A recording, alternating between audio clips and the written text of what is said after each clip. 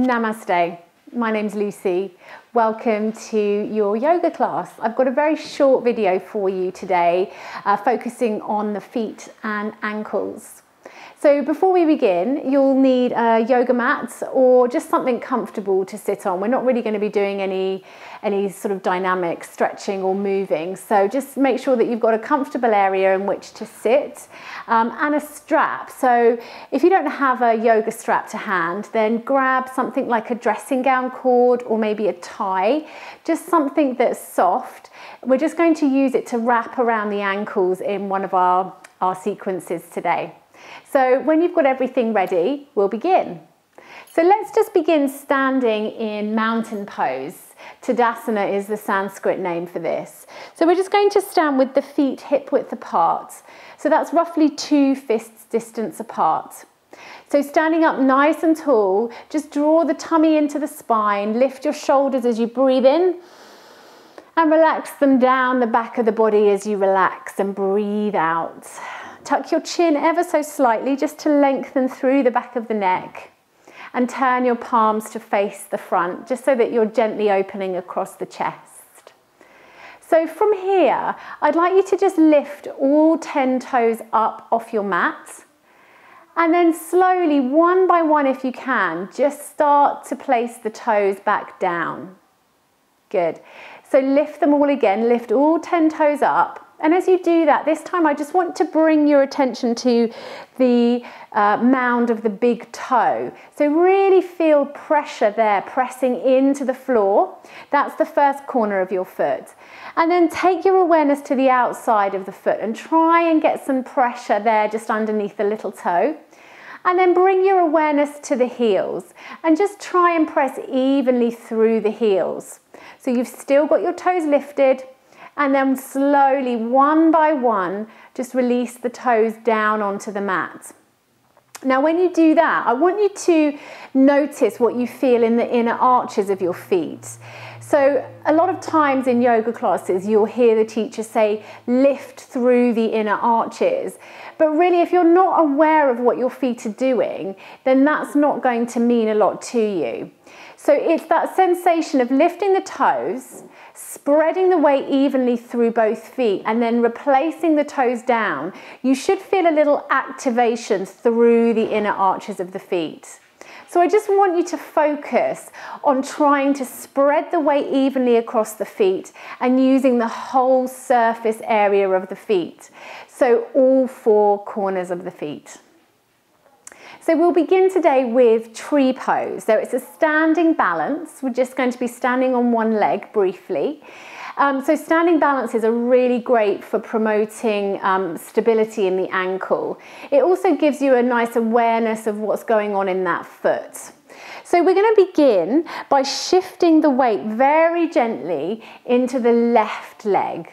So just start to shift your weight into the left side and then slowly start to peel the right foot up off the mat. We're going to then turn the right knee out to the side and bring the right toes just to the inside of the ankle here. So you can keep your toes planted on the floor if you feel a little bit wobbly. And equally, if you feel wobbly, you can go and grab a chair or just use a wall to lean against. So just to place one hand on the wall just to stabilize yourself. Otherwise, what I want you to do is start to draw your navel in. So you're firming through your core, which is really important when you're working on standing balances. So we've got the toes still on the floor, the right toes still on the floor. We're pressing down through the left foot. We're nice and strong in the core. And then from here, see if you can start to lift your right toes up off the mat and just bring them onto the inside of the ankle, very gently. So now just start to find something to look at, something to gaze at, a nice point that you can look at that's going to keep you nice and steady. And we're going to stay here for five breaths. So with your right foot, you might start to feel your left ankle bone wobbling a little bit. And again, just think about firming through your core to keep you nice and steady here. So we're promoting that agility in the ankle joint, but also we're working on our balance, which is a great thing for all aspects of life, not just our yoga. So take two more nice deep breaths in and out through your nose here. And then slowly start to release and stand back down on two legs. You can give your legs a little shake out. And then we're going to come to tree pose on the other side. So start to shift your weight into that right foot and take your time. So find that gaze point strong in your tummy and then start to peel the left toes, the left foot, sorry, up off the mat. And then turning that left knee out to the side, bringing the toes still on the mat to the inside of the ankle. So when you feel steady, start to lift the toes and just gently place them on the ankle. So no pressure really here, just nice and light just starting to focus on what it feels like on this side compared to the other side. Nice and strong in the core and start to breathe in and out through your nose. So this is a great posture to do. You can do it while you're cooking dinner, standing at the stove, maybe waiting for the kettle to boil. Um, it's a really good idea to practice standing balances often because they're very beneficial in lots of ways. So two more nice deep breaths here, pressing down evenly through all four corners of that standing foot. And then start to release and come back to standing on two legs. Well done. So that's tree pose, and that's a really good way, as I said before, just to build uh, stability in the ankle. We're going to come down onto our knees now for our second pose this morning or this evening, whatever time of day you might be practicing. And this is where you're going to need your strap. So we're simply using the strap to avoid the feet rolling in on each other and also just to maximize that stretch across the ankle joints. So come down to sitting and just take your strap and you're just going to wrap it around the ankles. So nice and taut like you would a bandage, doesn't have to be really tight, but what we want to do here is to stop the feet rolling in. So your ankle bones kind of need to be touching.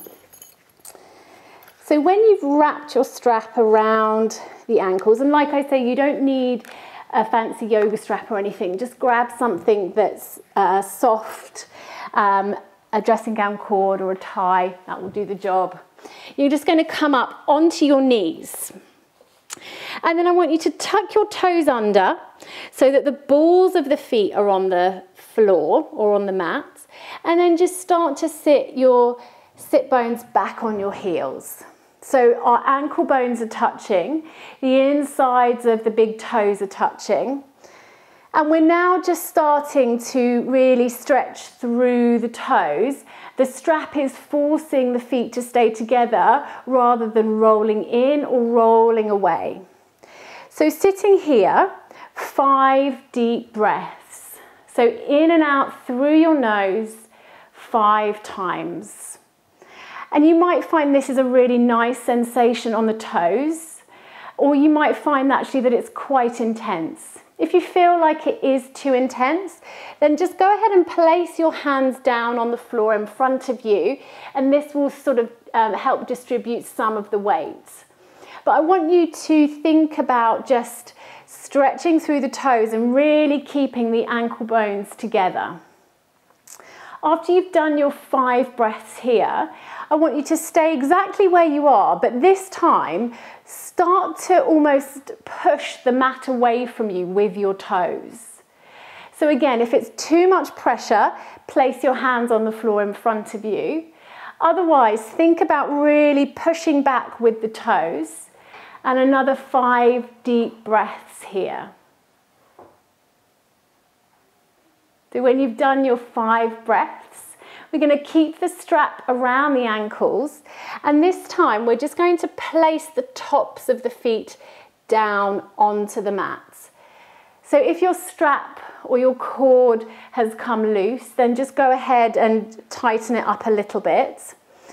And this time we're going to point the toes as we sit the sit bones down onto the heels and really start to open across the tops of the feet.